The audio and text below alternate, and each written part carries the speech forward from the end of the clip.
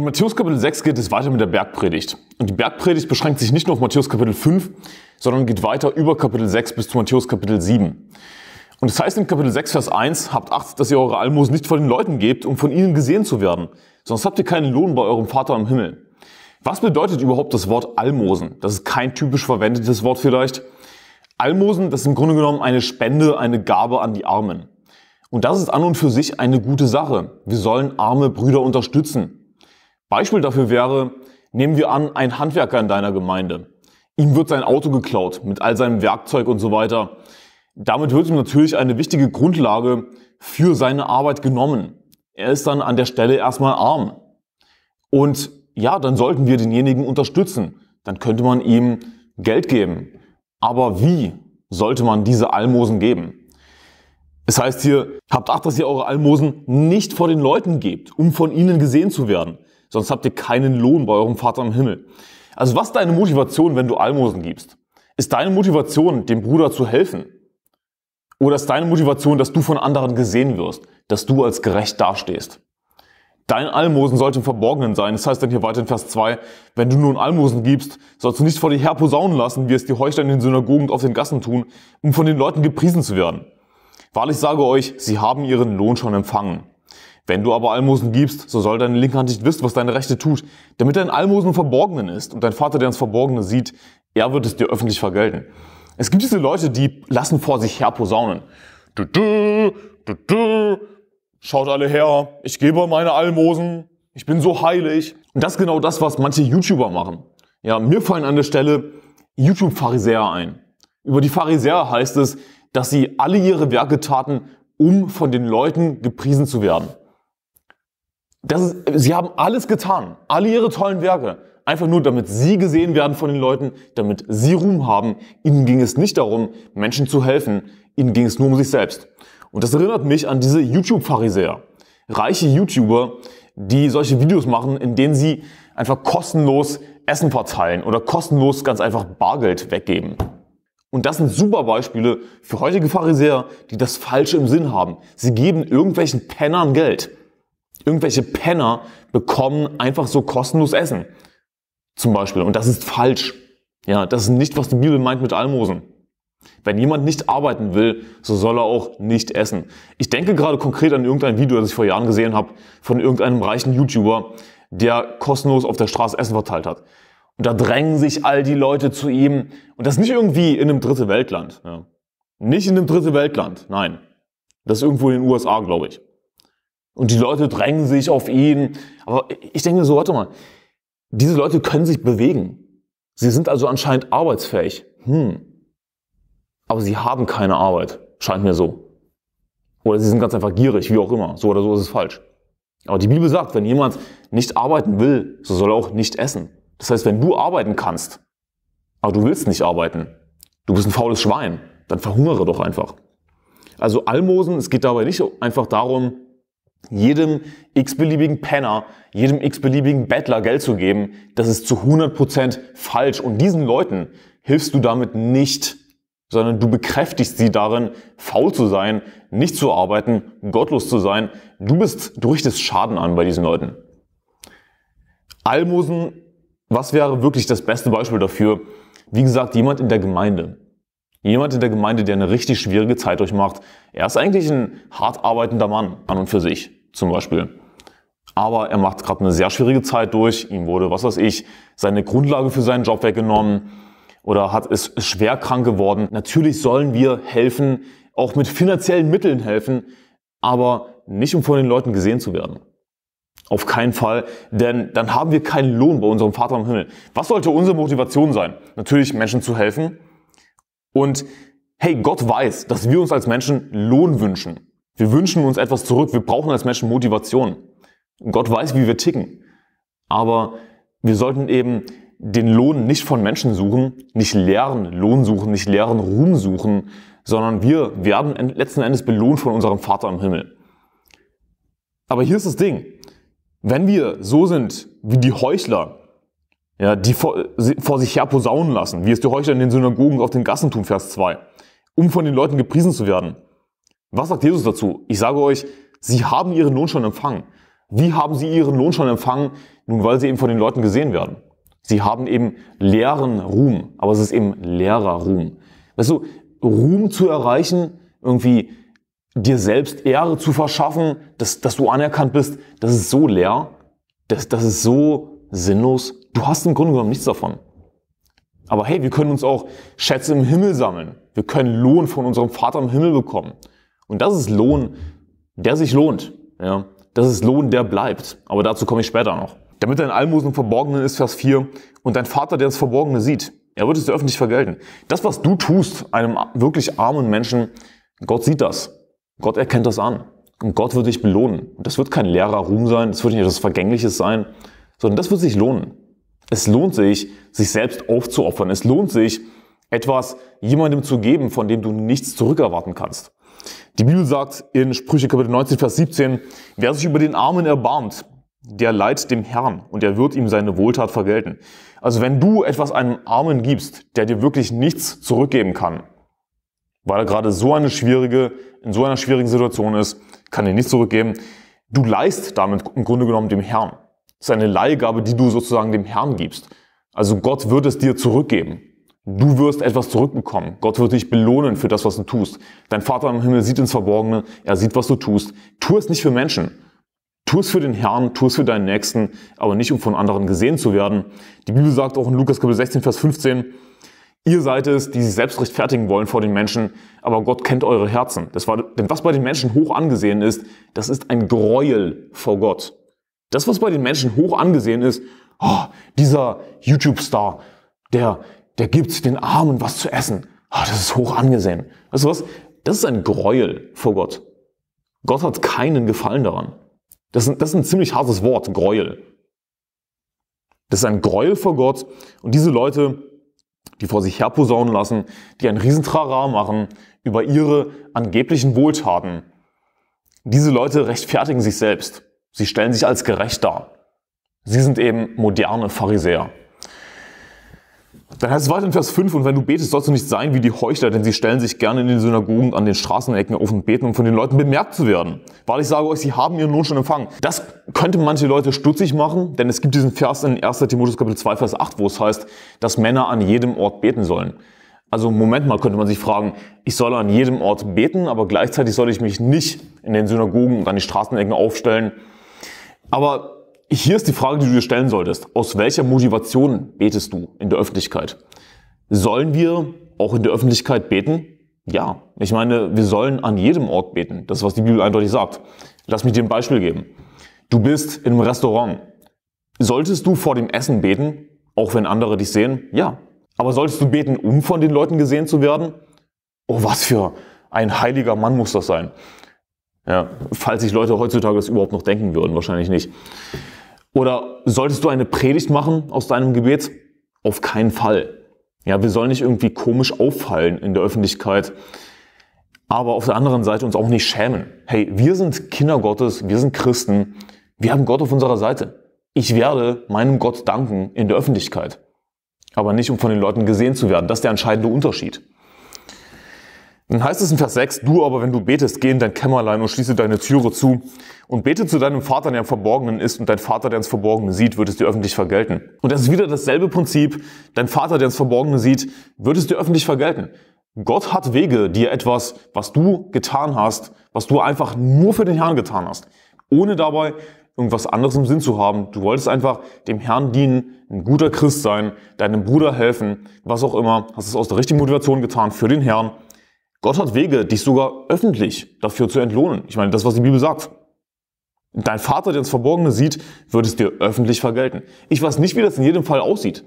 Aber ich denke spontan einfach an die Stelle, wo es im Alten Testament heißt, dass Gott an jenem Tag den Josua groß gemacht hat vor dem Volk. Gott hat Josua groß gemacht vor dem Volk, aber er hat sich nicht selbst groß gemacht, sondern er wurde von Gott groß gemacht. Das heißt, er hat nicht danach getrachtet, groß zu werden, aber Gott hat ihn groß gemacht. Warum? Weil er dem Herrn gedient hat. Und übrigens zu diesen Themen, die ich hier anspreche, sowas wie armen Leuten Geld geben oder beten. Ich habe viele Podcast-Folgen schon gemacht, auch zu diesen beiden Themen schon. Also geh einfach auf unseren YouTube-Kanal, du kannst auf dieses Suchfeld klicken und sowas eingeben wie Gebet. Und du findest eine Podcast-Folge dazu. Werde ich auch verlinken unten in der Beschreibung. Dann heißt es weiter in Vers 7, und wenn ihr betet, sollt ihr nicht plappern wie die Heiden, denn sie meinen, sie werden erhört um ihrer vielen Worte willen. Darum sollt ihr ihnen nicht gleichen, denn euer Vater weiß, was ihr benötigt, ehe ihr ihn bittet. Deshalb sollt ihr auf diese Weise beten, unser Vater, der du bist im Himmel, geheiligt werde dein Name. Und natürlich geht es jetzt hier um das sogenannte Vater unser, das berühmteste Gebet, oder ich sollte vielleicht besser sagen, das berühmte Gebetsschema. Denn es ist kein Gebet, das wir immer und immer wiederholen sollten. Und das ist ein typisches Missverständnis, das von der katholischen Kirche stammt. Denn was sind Katholiken? Katholiken sind, ohne jemanden beleidigen zu wollen, Heiden. Katholiken sind nicht gerettet. Wenn du Katholik bist, bitte schaue dir den biblischen Weg zum Himmel an, werde ich unten verlinken in der Beschreibung. Das ist ein kurzes Video, das dir erklärt, wie du laut der Bibel in den Himmel kommst. Katholizismus ist Heidentum. Die katholische Kirche ist heidnisch. Und jetzt lass uns mal an der Stelle überlegen, wie Heiden beten. Wie beten Hindus? Sie sagen ihre Mantras auf. Wie beten Moslems? Sie sagen ihre Gebete immer und immer wieder auf, die sie in den meisten Fällen gar nicht verstehen, weil die meisten Moslems gar kein Arabisch sprechen. Die meisten Moslems, ist dir das bewusst, sprechen kein Arabisch. Ich meine, wie dumm ist das denn? Sie verstehen noch nicht mal ihr eigenes bescheuertes Buch, den Koran. Und sie machen all diese Gebete ohne Sinn und Verstand, egal ob das Hindus sind, egal ob das Moslems sind, egal ob das Katholiken sind. Okay, bei Katholiken und Hindus könnte man sagen, gut, sie verstehen die Sprache zumindest. Ja, wow, immerhin. Aber worauf ich hinaus will ist, was verbindet diese Heiden? Was sie verbindet ist, dass sie aus Gebet eine Übung machen. Wir sagen jetzt so und so viel Mal das Ave Maria auf. Wir sagen so und so viel Mal dieses und jenes Gebet auf. Es ist völlig egal, ob wir jedes Wort verstehen, ob es überhaupt Sinn für uns macht, ob wir mit dem Herzen dabei sind. Wir sagen das einfach auf. Warum? Weil wir das so machen in unserer Religion. Das, was Heiden machen, sollten wir das machen, dass wir ein Gebet immer und immer wiederholen? Nein. Das ist die logische Schlussfolgerung. Ich meine, wenn ihr betet, sollt ihr nicht plappern wie die Heiden. Wie beten Heiden? Sie sagen immer wieder dasselbe auf. Vater unser, der du bist. Falsch, so sollen wir nicht beten. Also sollen wir das Vaterunser einfach immer wieder aufsagen? Ist das, worauf Jesus hier hinaus will? Das wäre, das wäre so bescheuert, sowas zu behaupten, wo Jesus eindeutig sagt, dass wir nicht beten sollen wie die Heiden. Also nein, das Vaterunser dient nicht dazu, dass wir es immer wieder aufsagen. Wenn wir beten, dann sollte es aus dem Herzen kommen. Das Vaterunser ist eher eine Art Schema. Das ist ein Schema, wofür und wie wir beten sollten. Ja, lass uns das kurz durchgehen, die ersten paar Verse. Unser Vater, der du bist im Himmel, geheiligt werde dein Name. Worum geht es dir beim Gebet? Geht es dir zuerst darum, einfach nur um deine persönlichen Anliegen oder was du unbedingt haben willst? Oder geht es dir vielmehr um Gottes Willen, um Gottes Ehre? Dankbar zu sein. Unser Vater, der du bist im Himmel, geheiligt werde dein Name. Dein Reich komme. Also es geht mit dein los. Dein, dein, dein. Nicht mein, mein, mein. Das ist ein gutes Schema für ein Gebet, nicht wahr? Und sogar in Freikirchen heutzutage ist mir aufgefallen, kommt das hier und da auf. Dass wirklich Leute kommen mit einem, mit irgendeinem Luther-Gebetsbuch oder was auch immer, dann wird ein Gebet vorgelesen. Wie bitte? Ich meine, wie schlecht ist das denn? Das, das ist so unehrlich, das ist so unpersönlich. Ein Gebet sollte etwas Persönliches sein, es sollte aus deinem Herzen kommen und nicht, was andere Leute dir vorgeben. Und eigentlich muss ich das gar nicht dazu sagen, aber sowas kommt eben auf. Aber woher kommt das? Es kommt aus Heidentum, nicht aus dem Christentum, nicht aus der Bibel. Dann gibt es zwei sehr wichtige Verse nach dem Vater unser, Vers 14 und 15, wo es heißt, denn wenn ihr den Menschen ihre Verfehlungen vergebt, so wird euer himmlischer Vater euch auch vergeben. Wenn ihr aber den Menschen ihre Verfehlungen nicht vergebt, so wird euch euer Vater eure Verfehlungen auch nicht vergeben. Wenn wir mit Sünden zu Gott kommen wollen, um Vergebung bitten, Herr, vergib mir diese Sünde, ich habe wieder diesen Fehler gemacht. Warum? Wir wollen nicht vom Herrn gezüchtigt werden. Wir wollen, dass unser Vater im Himmel auf unserer Seite ist, dass wir gesegnet werden. Nicht wahr? Also kommen wir zu Gott, kommen wir zum Herrn, bitten um Vergebung. Das ist eine gute Sache, das sollten wir täglich tun. Aber wenn wir den Menschen ihre Verfehlung nicht vergeben, dann wird Gott uns nicht vergeben. Und ich bitte dich, dass du dir diese Verse zu Herzen nimmst. Komm nicht zu Gott und bitte um Vergebung, wenn du nicht erst deinem Nächsten vergeben hast, wenn du nicht erst vor allem deinem Bruder vergeben hast. Und das haben wir auch gelesen im Kapitel davor, in Matthäus Kapitel 5, wo es heißt, Wenn du nun deine Gabe, Vers 23, zum Altar bringst und dich dort erinnerst, dass dein Bruder etwas gegen dich hat, so lass deine Gabe dort vor dem Altar und geh zuvor hin und versöhne dich mit deinem Bruder und dann komm und opfere deine Gabe. Jemand, der heiliger als heilig ist, könnte sich denken, aber ich gehe zuerst zu Gott. Ich gehe zuerst zu Gott. Ich bin so heilig. Aber du bist tatsächlich unheilig. Gott wird dir nicht vergeben. Gott wird dein Gebet nicht annehmen. Im Alten Testament hätte Gott dieses Opfer nicht angenommen. Zuerst versöhnst du dich mit deinem Bruder. Zuerst vergibst du in deinem Herzen deinem Bruder. Ja, je nachdem, was gerade angebracht ist. Natürlich ist nicht jede Situation eine Situation, in der du dich versöhnen musst mit jemandem. Es kann auch einfach sein, etwas sein, worüber du bitter bist. Ja, was du einfach in deinem Herzen gehen lassen musst, einfach sein lassen musst. Du vergibst es demjenigen. Das kommt an erster Stelle, bevor du dich um deine Sünden kümmerst, bevor du deinen himmlischen Vater um Vergebung deiner Sünden bittest. Sehr wichtig. Vergiss das nicht, dass Gott dir nicht vergeben wird, wenn du nicht zuerst vergibst. Ich meine, das, was die Bibel hier sagt. Wenn ihr aber den Menschen ihre Verfehlungen nicht vergebt, so wird euch euer Vater eure Verfehlungen auch nicht vergeben. Dann heißt es weiter in Vers 16, wenn ihr aber fastet, sollt ihr nicht finster dreinsehen wie die Heuchler, denn sie verstellen ihr Angesicht, damit es von den Leuten bemerkt wird, dass sie fasten. Wahrlich, ich sage euch, sie haben ihren Lohn schon empfangen. Also sie sehen finster drein, Sie verstellen ihr Angesicht und wollen ganz heilig aussehen vor den Leuten. Und natürlich kann man fasten aufgrund von Trauer. Das ist ein Grund fürs Fasten, den die Bibel nennt. Aber so oder so sollte das Ziel vom Fasten in der Bibel sein, nicht einfach auf Diät zu sein. Ja, es geht hier dabei nicht um Ernährung, sondern das Ziel sollte sein, sich Gott zu nähern. Und sich Gott zu nähern ist etwas Schönes, nicht wahr? Ich meine, diese Leute hier aber, die machen eine Selbstkasteiung daraus. Die wollen eben gerade bewusst traurig aussehen, finster dreinsehen. Sie verstellen ihr Angesicht. Sie machen eine Selbstkasteiung daraus. Sie finden keine Freude daran. Ja, warum? Weil es einfach nur Selbstkasteiung ist. Und sie denken, dass das irgendwie besonders heilig sei, dass das was Gutes sei. Ist es aber nicht. Sie sehen finster drein, verstellen ihr Angesicht, damit es von den Leuten bemerkt wird, dass sie fasten, weil ich sage euch, sie haben ihren Lohn schon empfangen. Es ist wieder dasselbe Muster natürlich. Ihnen geht es einfach nur darum, bemerkt zu werden und als heilig dazustehen. Und die Leute, die denken, dass diese Leute heilig sind, sind natürlich selbst nicht heilig. Ja. Jemandem, der geistlich ist, sollte auffallen, was Selbstkasteiung ist und was ehrlich ist. Und Selbstkasteiung ist nichts Lobenswertes, das ist nichts Rühmenswertes. Es ist einfach nur leer. Es geht dabei einfach nur darum, als heilig dazustehen. Ja, irgendwie als gerecht vor den Menschen dazustehen. Aber was bei den Menschen hoch angesehen ist, das ist ein Gräuel vor Gott, nicht wahr? Dann heißt es weiter in Vers 19, ihr sollt euch nicht Schätze sammeln auf Erden, wo die Motten der Rost sie fressen und wo die Diebe nachgraben und stehlen. Sammelt euch vielmehr Schätze im Himmel, wo weder die Motten noch der Rost sie fressen und wo die Diebe nicht nachgraben und stehlen. Die Bibel sagt auch in Kolosser Kapitel 3, Vers 2 bis 3, Trachtet nach dem, was droben ist, nicht nach dem, was auf Erden ist. Denn ihr seid gestorben und euer Leben ist verborgen mit dem Christus in Gott. Wir sollen trachten nach geistlichen Dingen, nach dem, was droben ist. Ja, nach himmlischen Dingen, nach geistlichen Dingen ist damit gemeint. Nicht nach weltlichen Dingen, und nicht Schätze auf Erden sammeln. Unser Ziel sollte es nicht sein, reich zu werden. Wenn du als Christ reich werden willst, dann wirst du daran scheitern. Du wirst wirklich daran zu Bruch gehen. Denn die Geldliebe ist die Wurzel allen Übels, welcher nachtrachtend etliche vom Glauben abgewichen sind und sich selbst mit vielen Schmerzen durchbohrt haben. Deine Geldliebe wird auf dich zurückfallen und du wirst es bereuen als Christ. Schreib dir das hinter die Ohren. Und es ist so sinnlos, sich Schätze auf Erden zu sammeln. Ich meine, es heißt hier, wo die Motten und der Rost sie fressen und wo die Diebe nachgraben und stehlen. Irgendjemand wird es stehlen. Rost wird dein Auto zerfressen. Früher oder später wird das geschehen. Es ist so sinnlos, es ist so vergänglich.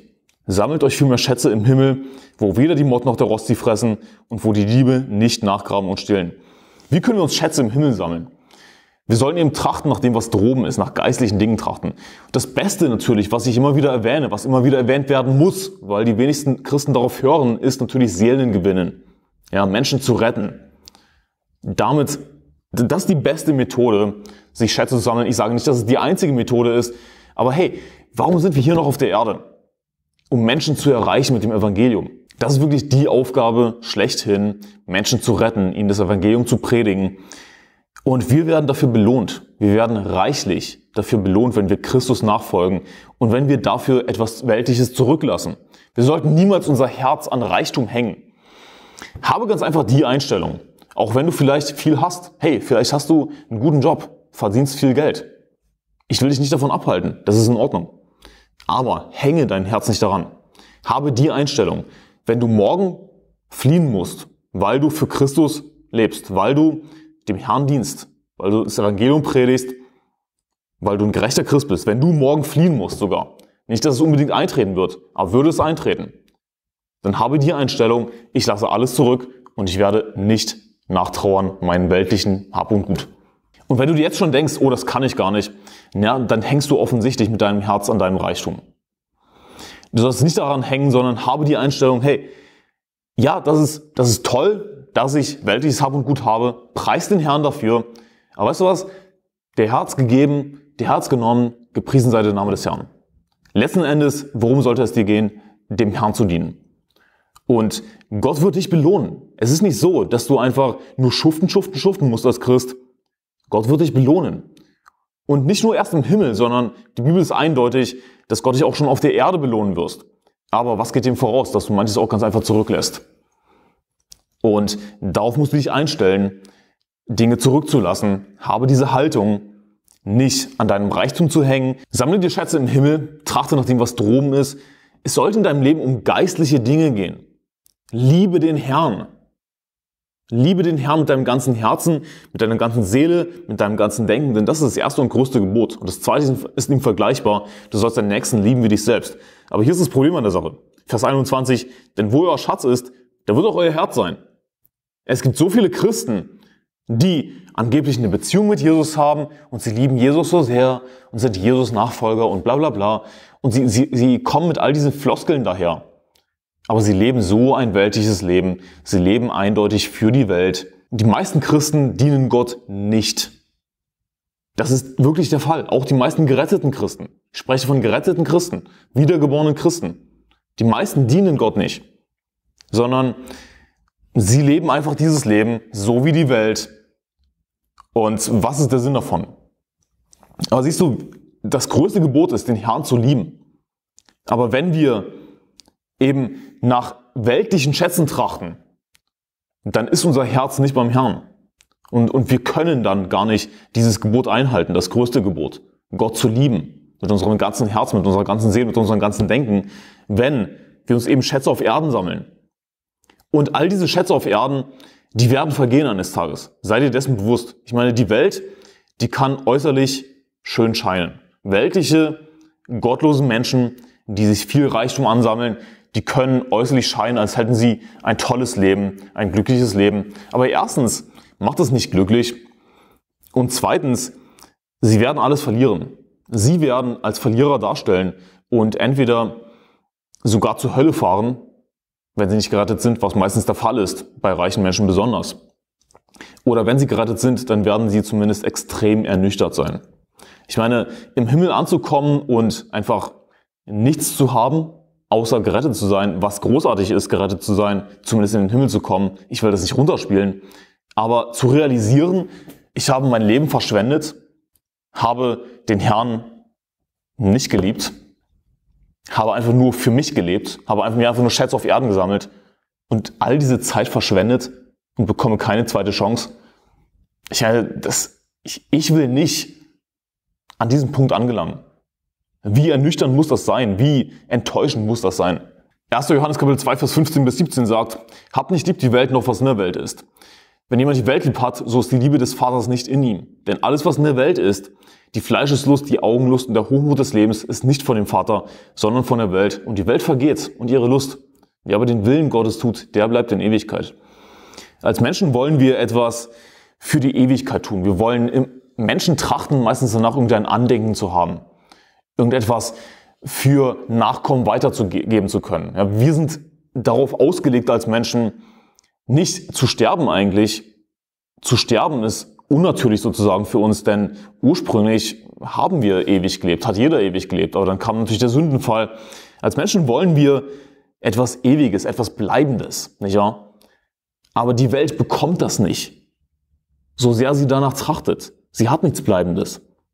Ja, liebe nicht die Welt. Wenn jemand die Welt lieb hat, so ist die Liebe des Vaters nicht in ihm. Du musst dich für eine Seite entscheiden. Willst du die Welt lieben oder willst du Gott lieben? Denn es heißt dann in Vers 24, niemand kann zwei Herren dienen, denn entweder wird er den einen hassen oder den, und den anderen lieben, oder wird dem einen anhängen und den anderen verachten. Ihr könnt nicht Gott dienen und dem Mammon. Das sind ziemlich harte Worte. Entweder wird er den einen hassen und den anderen lieben, oder wird dem einen anhängen und den anderen verachten. Du kannst nicht Gott dienen und gleichzeitig dem Geld dienen, deinem Hab und Gut dienen. Du musst dich für eine Seite entscheiden. Das heißt nicht, dass du nicht hart arbeiten sollst. Das heißt nicht, dass es dir verwehrt werden soll, gutes Geld zu machen. Aber hänge nicht dein Herz daran.